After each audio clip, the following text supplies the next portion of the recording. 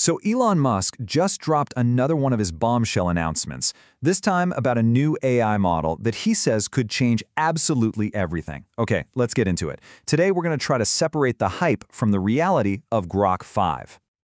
It all kicked off with this. Musk didn't just announce a new model, he called it crushingly good. Now, that's not your standard tech speak, right? When a guy like Musk uses language like that, he's basically throwing down the gauntlet. He's signaling he wants to completely dominate the field. And here's the core of that promise. A brand new model, Grok 5, is supposedly coming before the end of 2025, and its whole reason for being is to be the best AI on the planet. But believe it or not, the story gets even more ambitious. Now, this is where it gets really fascinating. XAI isn't just planning for the future. Musk is claiming they're already winning right now.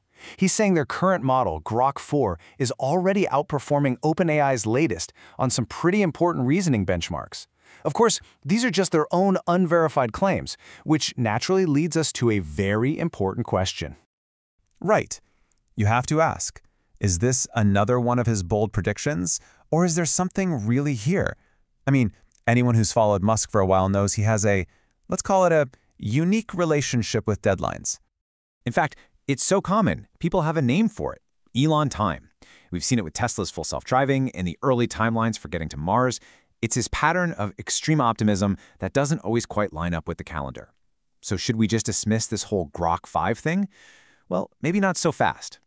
Because here's the thing. While you might want to be skeptical about the dates, the actual pace of development at his AI company, XAI, is anything but slow. In fact, it's moving at a speed that is genuinely shocking the rest of the industry. Just check out this timeline to see what I mean. Grok 3 was released in February of 2025. Grok 4 came out just five months later. To put that in perspective, most of the big AI labs take years between their flagship models. This speed is a crucial part of the story, so how are they doing it? Well, that incredible speed is possible because of two massive, almost unfair advantages that XAI has at its disposal. First, they are building what's reported to be the world's largest supercomputer, a massive cluster of cutting-edge NVIDIA GPUs. This is the raw horsepower you need to train these giant models. Second, and this might be even more important, they have a direct pipeline to the real-time data from X. Every conversation, every trend, every breaking news story is feeding Grok, giving it an up-to-the-minute understanding of the world that other AIs just can't match. And all of this is being fueled by some serious, serious money.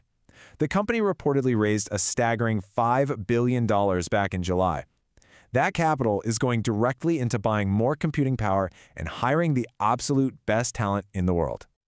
Okay, so they've got the speed, they've got the data, and they've got the money. But what is the end product, Grok 5, actually going to do? Well, based on leaks and what the experts are speculating, the feature list is pretty mind-blowing. We're expecting true multimodality, which means it can understand and reason across text, images, video, and audio all at once. For developers, it could have a fully integrated code editor. And beyond just being better, it's expected to be much, much faster. But the most audacious goal of all?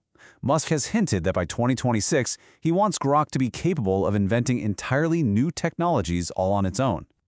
But to really get the strategy here, you have to realize Musk isn't just building another chatbot to compete with ChatGPT.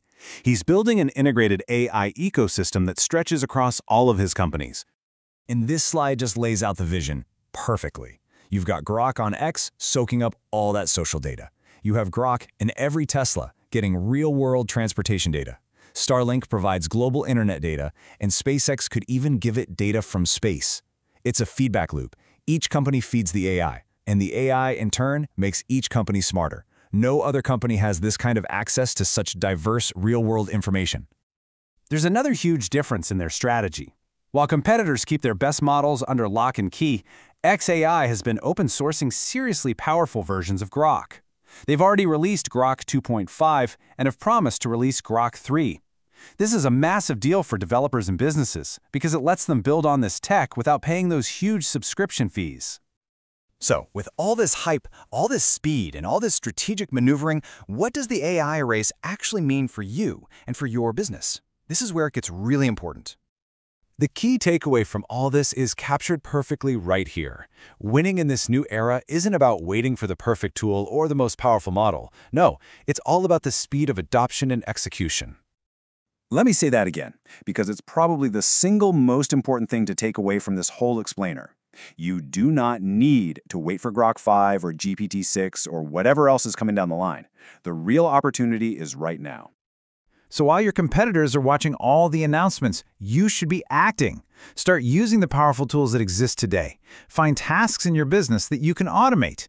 Integrate these capabilities into your daily operations. The real advantage comes from learning, implementing, and iterating faster than everyone else.